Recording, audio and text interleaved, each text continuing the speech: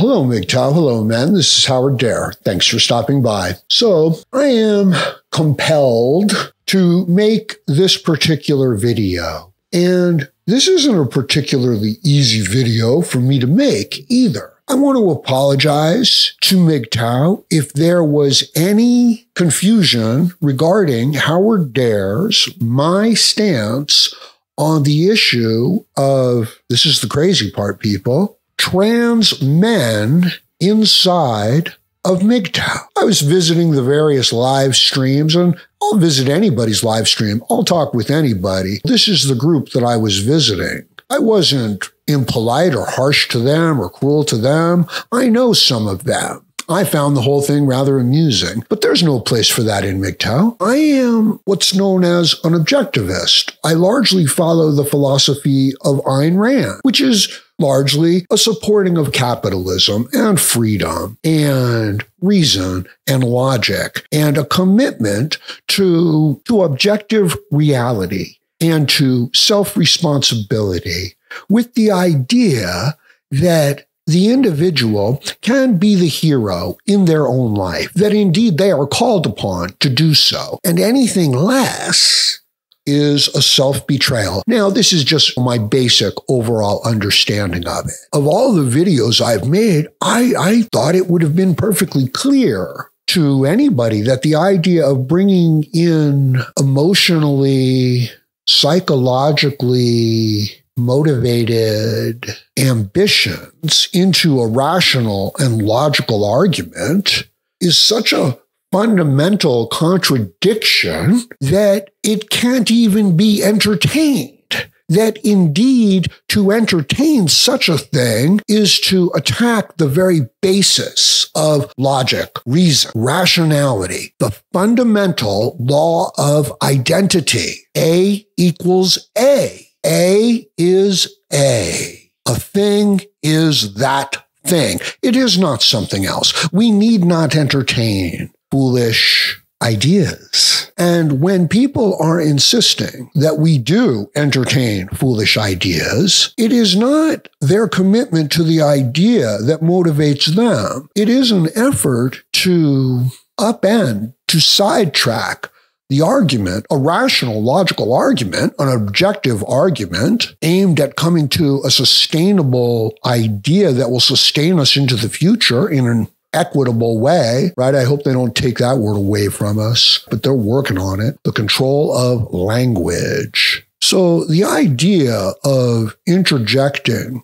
someone's emotional, psychological, social, internal interpersonal concerns into the argument, the reason behind MGTOW is absurd and not to be entertained, not seriously. Now, I know that a lot of people do entertain things seriously, and that's on them. You know what I mean? I don't need to make judgments on other people, but I do need to remain true to the things that I believe. Everybody is entitled to their opinion, and their opinion does not have to agree with my opinion. I will listen to other people's opinions, but that doesn't mean that anything of my opinion changes. This isn't the place for jokes. I just wanted to be clear on this. Anything that clouds the issue of MGTOW, of a man going his own way, of a man being true to his principles, to his values that he has evaluated by his own means. Anything that corrupts that, anything that takes away from the basic premise of A equals A. Yes, it is the enemy. It has no place.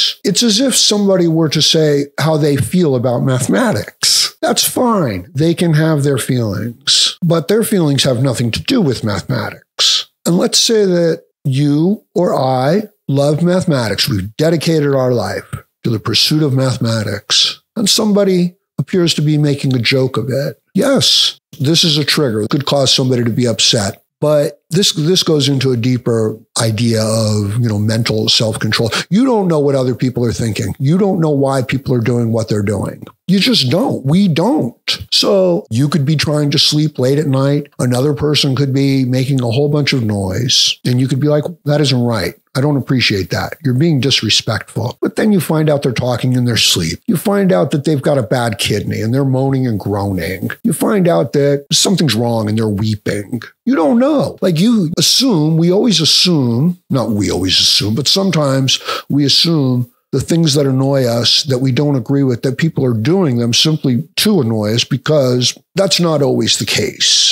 It's really not, you know, and there's no reason for a person to make themselves upset and assume that everything that happens around them is like against them. So a hundred things happen in your day. You take all of them personally, but the truth is 99 of them, nah, they didn't even know your name. They didn't care. So that's something to avoid as well. You know, these these are fundamental stoic principles that I think serve a man very, very well. So just to be clear, I do not think that the transsexuals have much of, have any place in the idea and the conversation and the discussion of MGTOW. I don't think they have any place in, you know, women's sports either. And the idea that I would have a conversation with somebody about sexual body parts, you know, be, being incorrectly formed and that they would still wish to suggest that, you know, a man is a woman, somebody with XY chromosomes is a woman. It's the same idea. They're they're being so foolish. They might believe it, they might not, but they're being so foolish. They're they're suggesting something so contrary to basic logic, A equals A, that to entertain it is absurdity. It's like, how do you feel about mathematics? How do you feel about the altitude of the plane? These are not subjective questions. So the idea of trans men in MGTOW, it, I disagree with it. I, I do not approve of that. I'm not going to mistreat anybody, be abusive towards anybody, but I do want to be clear on that. And I hope you understand how this applies to a greater area of uh, reality and how we look at the world. I just wanted to put that out there. Let me know what you think about this. It's an important subject, right? Because it's not just here in MGTOW, although it's here in MGTOW, it is a societal and cultural issue. How do you feel about, you know, a female Secret Service agent that isn't equipped to do the job? You know, it's her turn to do the job and everybody's equal. So she demands that she gets the job. How do you feel about somebody who isn't qualified to lead stepping up and saying, I want to be the leader of the free world? That's their suggestion. That's what's at the core of the issue. But I know that I am committed to an objective, logical, rational, reasonable discussion about these subjects and that there is a requirement that we don't interject this kind of foolishness into things. Now, when I'm interacting with people, I know that they're not applying this kind of rigor and discipline to what they say. And truth is, neither am I. Sometimes I get upset or I might say something. That's true also. But I hope this helps clarify where I, Howard Dare, stand because I think it's important that you guys understand this is not a joke to me. I just wanted to put this out there. Let me know what you think about this in the comments section below. Please like, share, comment, subscribe, donate. And join me again, Howard Dare, as I plan to have more content for you. Thank you, MGTOW.